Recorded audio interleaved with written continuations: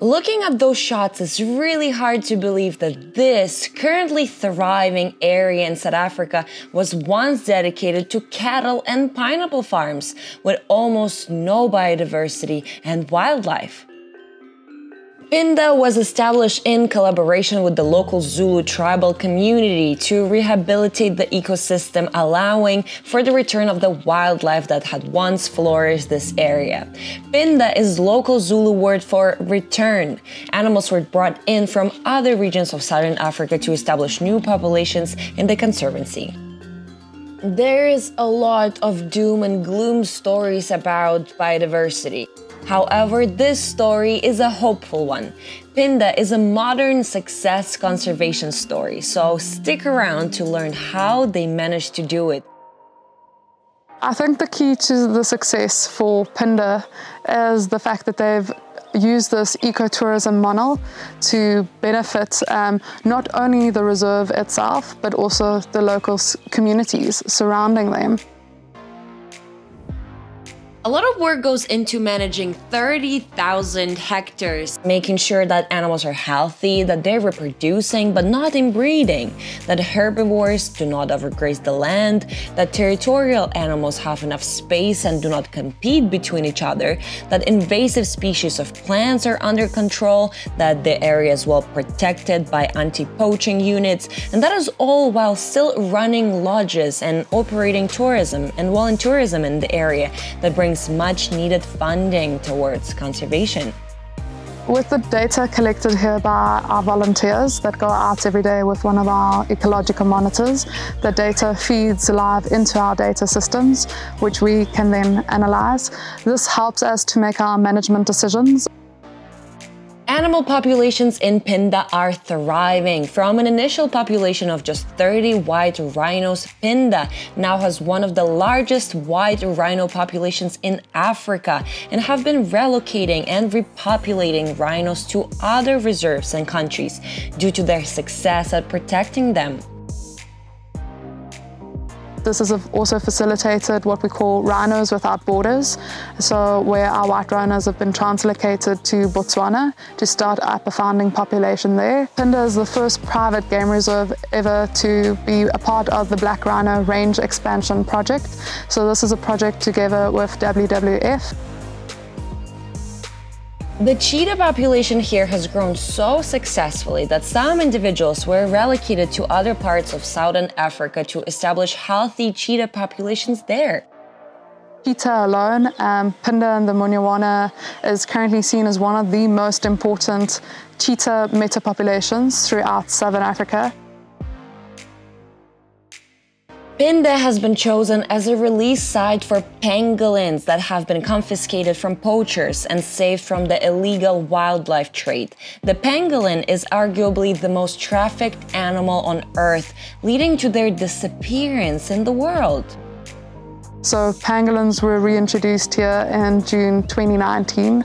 Before that, pangolins have been completely extinct from the reserve. Over time, these animals have now established home ranges, territories, and thankfully have even had pups. It is also an educational ground. Numerous researches occur here every year. Very get-go, a lot of data has been collected and that has resulted in numerous PhDs, master's projects, also suitable protocols being out there on what's the right way for soft releasing lions into new areas. I have spent here a few weeks volunteering with African Conservation Experience, participating in all the daily tasks needed for animal management and conservation, like monitoring, data collection, updating ID profiles of animals, tracking, using some of the most modern technologies, trying to understand. So what is the reason of this overwhelming conservation success?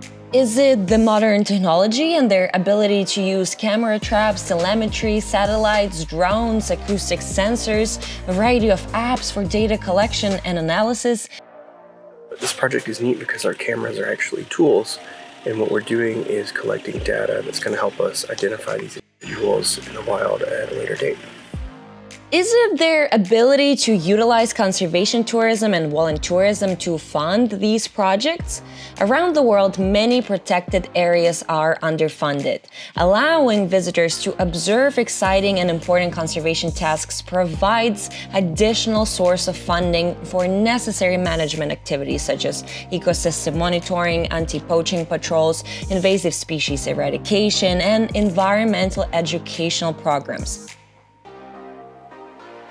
tourism potentially has a big role to play in education when it comes to conservation. Um, one of the best things is there's so many people that care um, and that's just really lovely to see. Just spreading the word of like the sort of work that's done here, trying to get more funding and letting people know how important this is to preserve is really important. When people connect with nature during their travels, when they see firsthand how hard it is to protect our nature and what goes into it, it can lead them into being more appreciative and become more invested in protecting it. I think the fact we don't know what we're going to see or discover each day is very exciting. Like every day I've done so far has been really different. And I've had a really unique experience seeing loads of animals that are endangered, um, so I'd say I'm pretty lucky. Of course, it is all of the above and more. This project truly exists due to the exceptional management and the work of numerous passionate people that spend hours and days in the bush, making sure that the area is thriving while educating tourists and visitors and conducting research that helps other organizations and reserves to obtain this success as well. We mainly focus on movement data and being able to correlate all of that and expand it over a few years and see the movement of different species, how they react to different weather conditions and habitats and different influences like that. Seeing their movement data, how long it's taken them to settle in this reserve will be useful for other reserves who want to do the same thing. Your time and your effort really help with things like hands-on things, if we need help lifting something or moving things, photos for ID kits, like lots of different small contributions that add up to larger contributions. I hope that this success story got you inspired and serves as a hopeful reminder. When people start seeing the benefit of having tourism in the area, um, they are more inclined to wanting to keep the area wild and they also support these new um, ventures that are being undertaken. We want to use tourism to expand, you know, conservation areas and not just expand, but to ensure that it sustains itself.